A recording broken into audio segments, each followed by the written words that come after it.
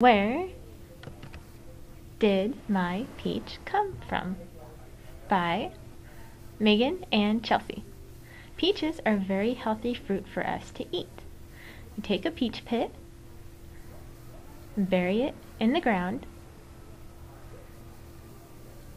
and using the sun, clouds, and rain, our peach tree starts growing and growing and growing.